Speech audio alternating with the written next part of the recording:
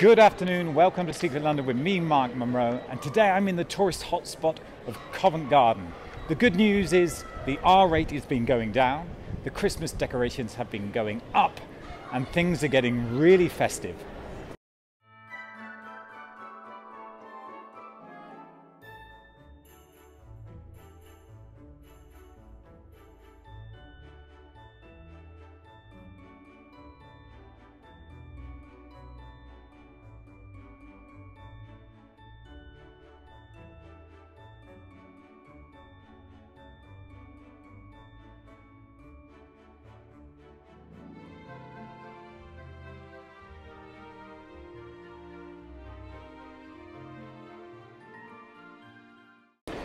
The piazza itself was designed by Inigo Jones in the 1700s.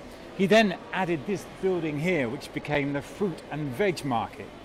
Now, in the 20th century, the market became so busy that it had to move south of the river.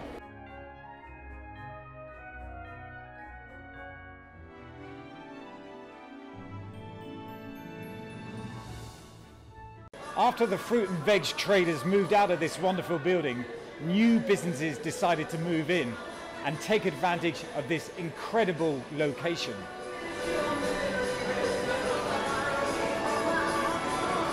Nowadays, Covent Garden is a tourist treasure. It's famous more now for its bars, its restaurants, its amazing shopping, and above all, its world famous street entertainers.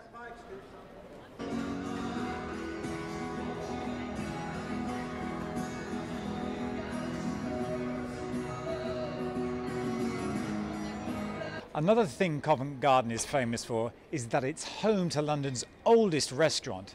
Now, I'm feeling a little bit peckish, so uh, let's go for something to eat.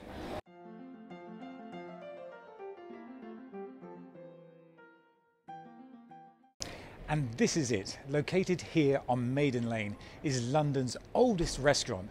It was opened in 1798.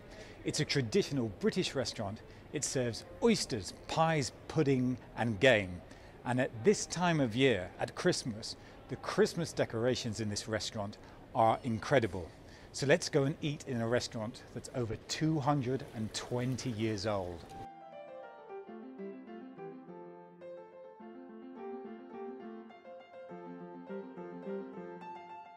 Welcome to Rules.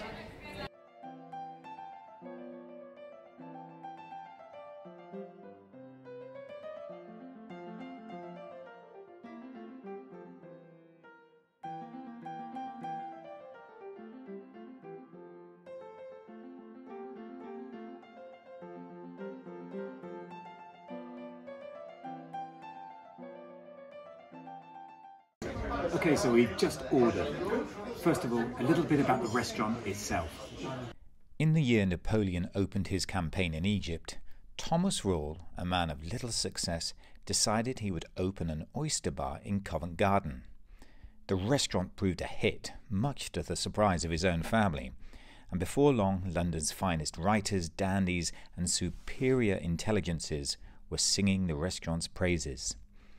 The restaurant spans the reign of nine monarchs and has been owned by three families.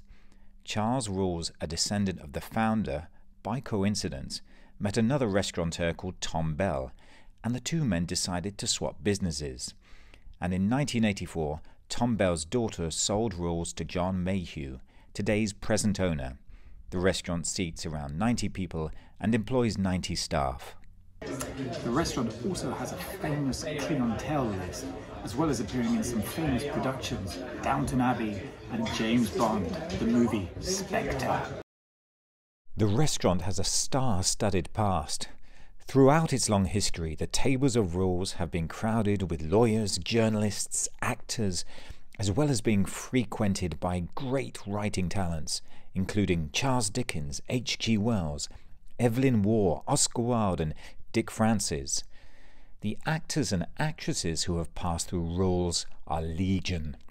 Down the decades, Rules has been an unofficial green room for the world of entertainment from Henry Irving to Laurence Olivier, and the history of the English stage adorns the walls.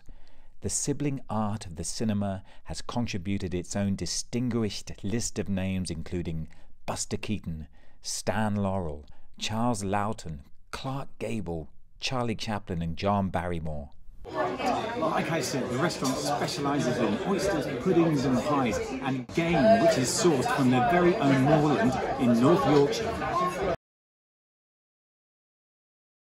They've also got a great cocktail menu. Just to stop it, stop it. I've got to go back to it. Relax, breathe, breathe. Take a picture of your pudding. Yeah, I know, I need that. That's amazing. There's also an extensive cocktail menu, and I'm going to give the Duchess of Cambridge a try.